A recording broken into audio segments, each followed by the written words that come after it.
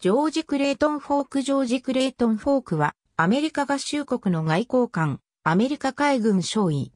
アメリカ代理公使として、朝鮮に2期駐在し、漢字名として、富久を名乗った。1856年に、ペンシルバニア州マリエッタにて誕生。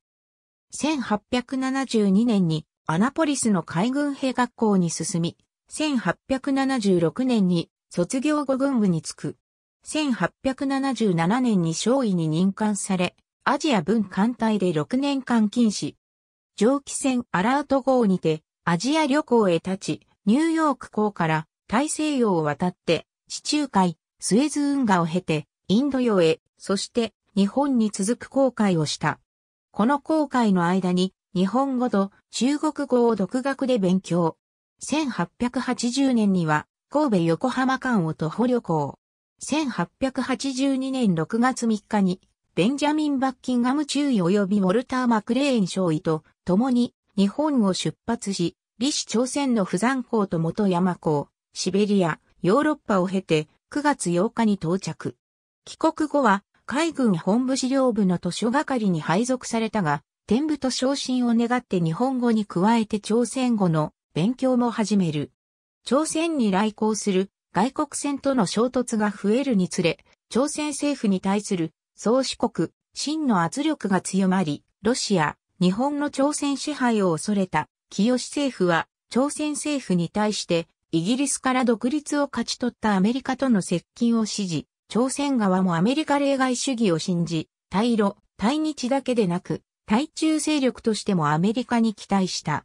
1882年に、米朝修好通商条約が締結され、1883年9月、李氏朝鮮から便妃の甥である便イ翼ら憲兵法兵士の一行が訪米すると、朝鮮語を扱える、ほぼ唯一の通訳者として、フォークが起用され、2ヶ月にわたって、ボストンからワシントン DC までアメリカ各地を案内した。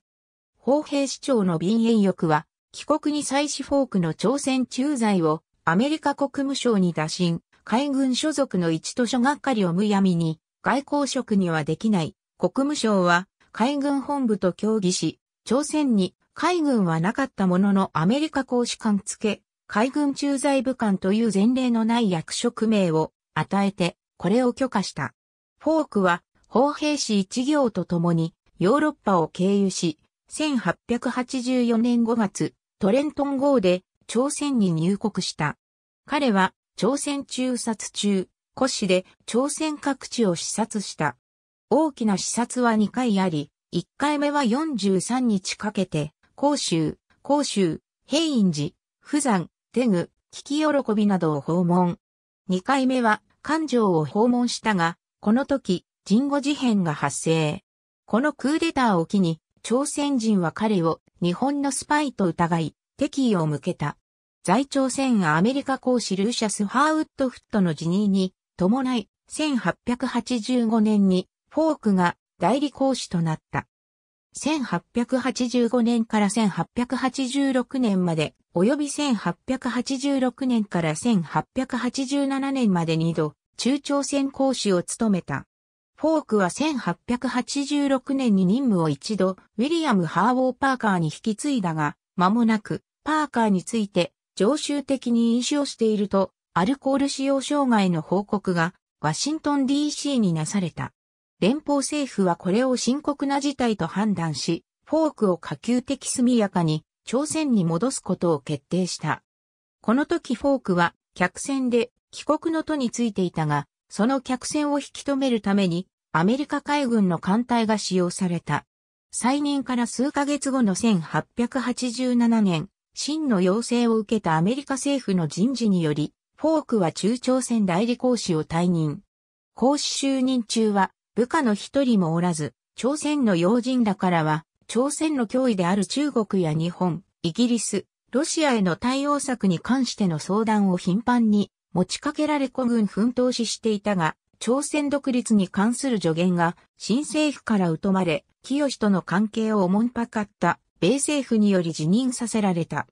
公使退任後、フォークは同志社学院に講師として就職。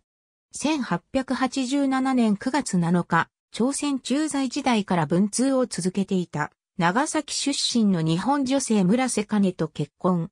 1888年から1890年まで横浜のアメリカン貿易に勤務。1890年から1893年まで同志社学院で数学教授として勤務。朝鮮を離れた時点から体調を悪くしていたホークは、1893年に保養のため妻と箱根に滞在中、山登りの途中に行方不明となり、翌日心不全で亡くなっているのが発見された。京都市左京区獅子型には川王子、山町にある同志社墓地に埋葬されている。ありがとうございます。